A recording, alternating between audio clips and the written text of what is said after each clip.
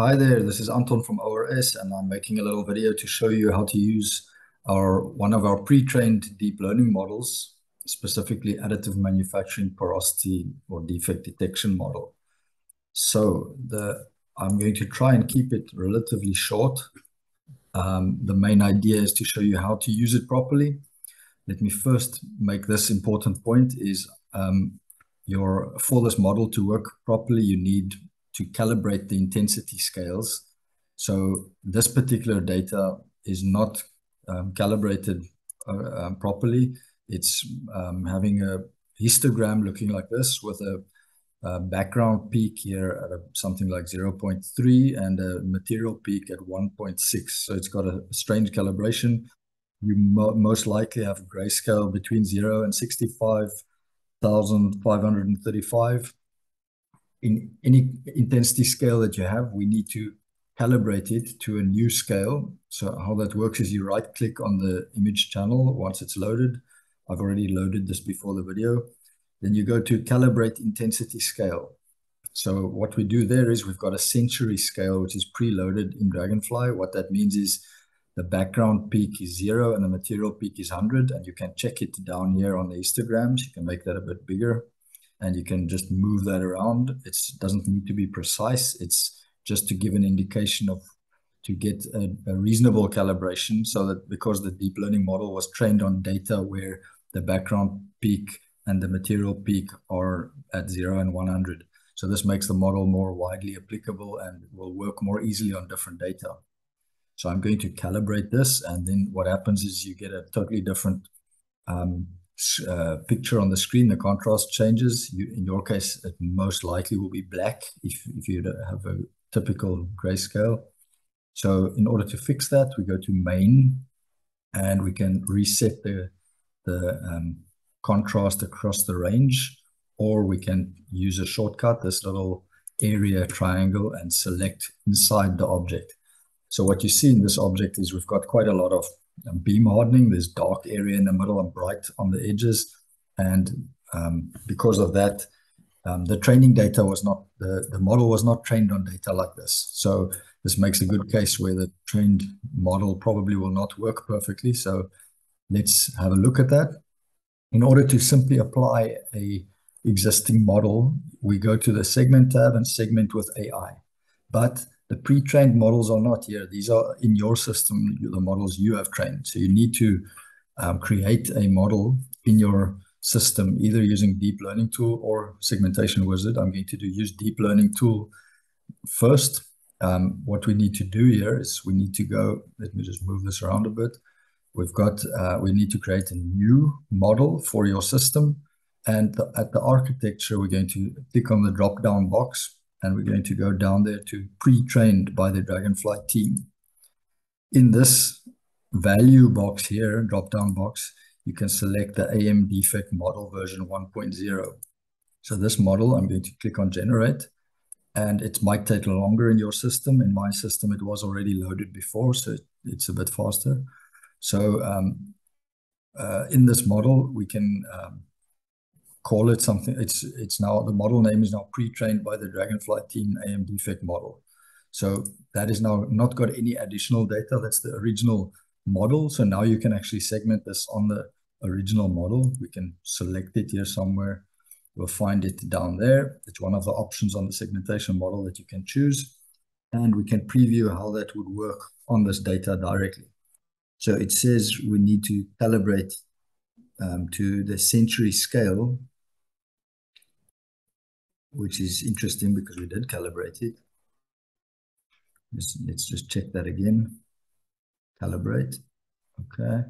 And this guy needs to go. And okay, I, I think that's a, not supposed to be like that, but it should work. Um, it's a warning, unnecessary warning message there, just to make sure that you have your um, intensity calibration correct. So we're applying a deep learning model now to one slice. And what you get as an output is three classes, a multi-ROI. You can put the background off and the material off, and you can see where the defects are segmented. So if you look at around and you zoom in, you see some pores are missed here, and there maybe a pore is not segmented sufficiently.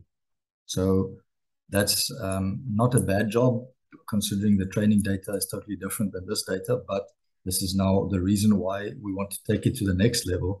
We want to use transfer learning. So typically, if you have AM parts that have been scanned and you have a different kind of uh, additive material than what we've trained our model on, you have a different CT scan quality or different detector was used, different parameters were used.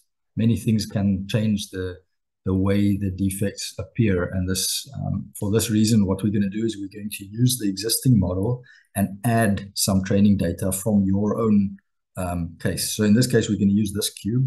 We can use this exact same slice. So we're just going to add one slice of training data. And I'm going to use a deep uh, segmentation wizard for that.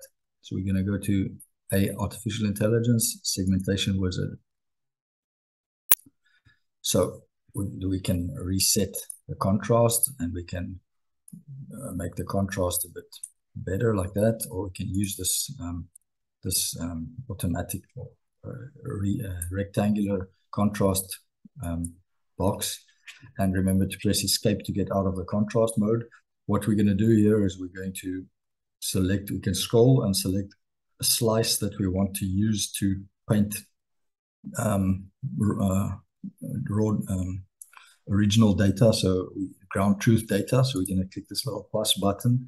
And if you've not done this before, um, don't don't be um, alarmed. It, you get used to this quite fast, um, and you'll see it's not too difficult. So before we paint that, I actually want to add a model here. So we're going to generate and import a model or add a model. So we're going to generate a new model and um, actually um, this is probably what you will be doing. You click again on the architecture, go down to the pre-trained versions and select the AM defect model. So now we're generating that model, which has been already pre-trained and um, it's already loaded here now. And now we're going to add, we, we can click on this frame to make it training frame. This is going to be a training frame. And what we're going to do, we need to add one more class because the, the classes, as you've seen earlier, the, the first class is pores, we can call it that. Second class is material, and the third class is um, background, exterior.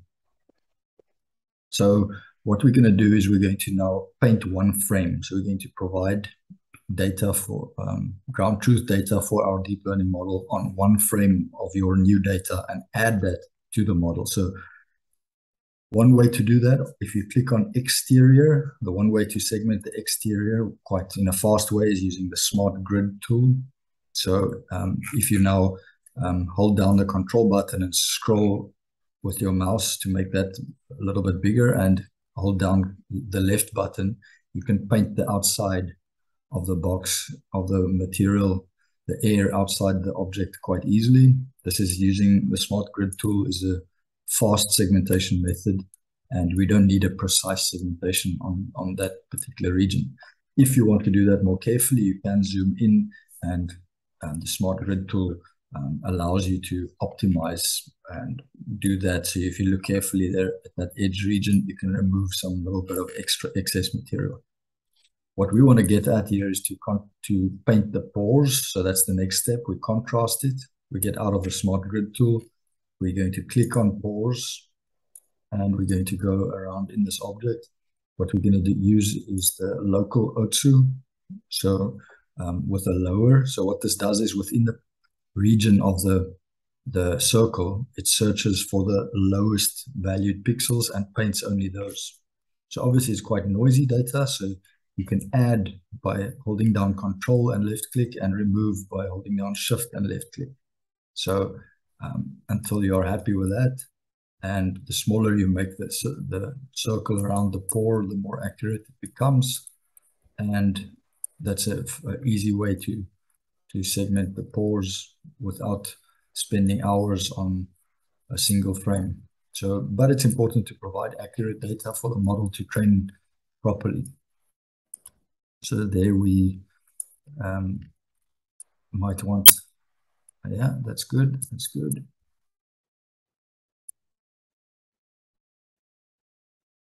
And we might want to check We might want to change the contrast slightly so that to make sure we don't miss any pores. Um,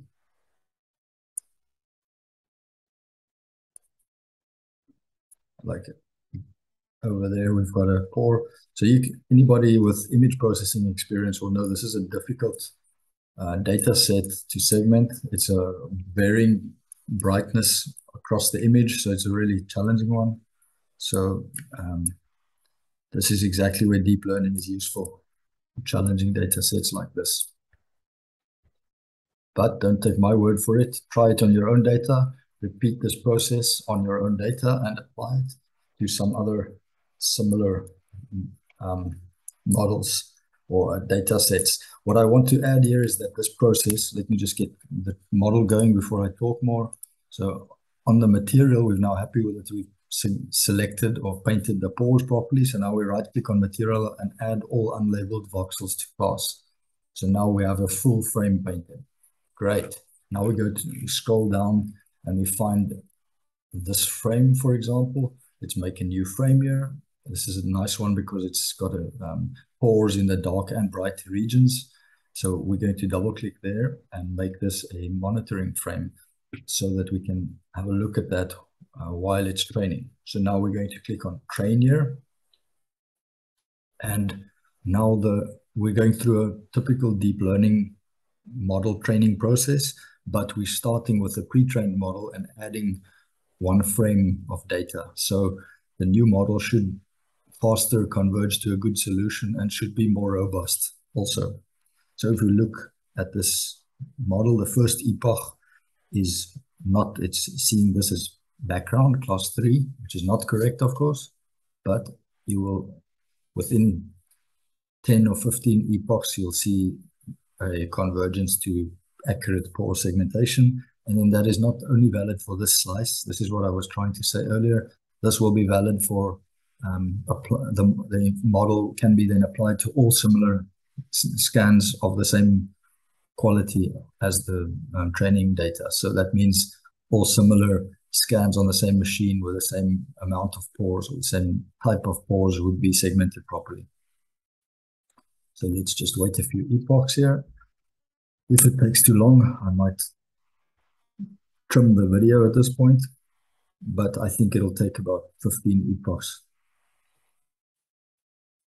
The pre-trained data was trained on samples with more porosity than the one that we're providing here. And also there was not beam hardening artifacts in the training data. So um, that's why it doesn't immediately work um, perfectly on this data.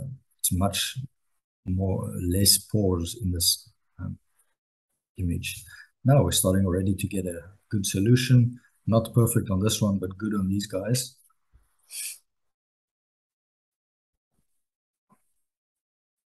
And it's already converging to a good solution.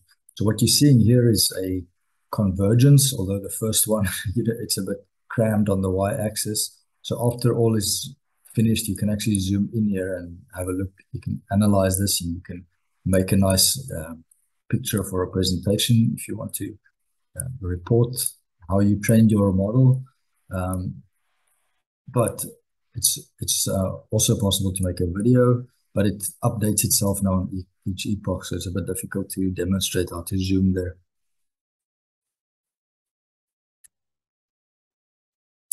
So, of course, you can leave it longer than this. This is real time. This is using a laptop with a not a very powerful graphics card. So, um, on your big workstation, that might be faster, but and you might have more time. So, I'm just going to stop this. Um, the training will stop after 100 epochs or after it converges and not does not continue uh, learning more information. So um, it, has an early stopping capability if, if that happens. So typically that depends on your hardware how long that takes. Uh, I think in this case on my system it could take 20 minutes or so. But keep in mind you don't need to do that for each sample. You just need to train your model once for all similar samples. So if we now are happy with that, we can exit.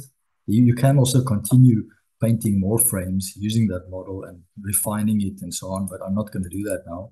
We're going to call this now we're going to give it a name. We're going to say this is demo video model 26 October. So I've published it. And what we can do now is, you remember we made a, a preview um, on, on this slice. So we're going to now check how, it, how much better it is on this particular slice. We didn't train on this exact slice. So we can go to segment with AI. We go to, uh, I need to find it. It's a,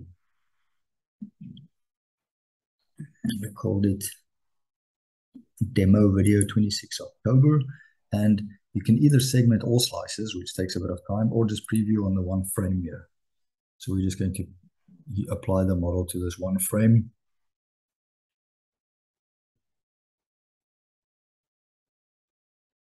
Which is much faster, of course.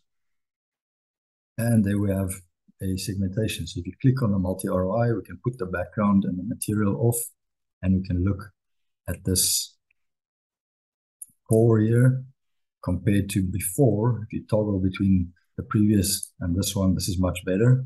So um, I don't see any pores which are wrongly classified. So that's that's pretty much how it works. And now you have a deep learning model which works on all similar data of similar scans. And you can, of course, extend that further. And you can also send us data for us to Uh, update and improve and extend our pre-trained model.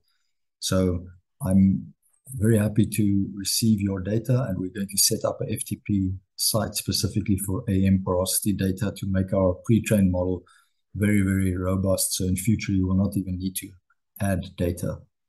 So please let me know how this works for you, and I hope you found this video useful. Thanks. Bye-bye.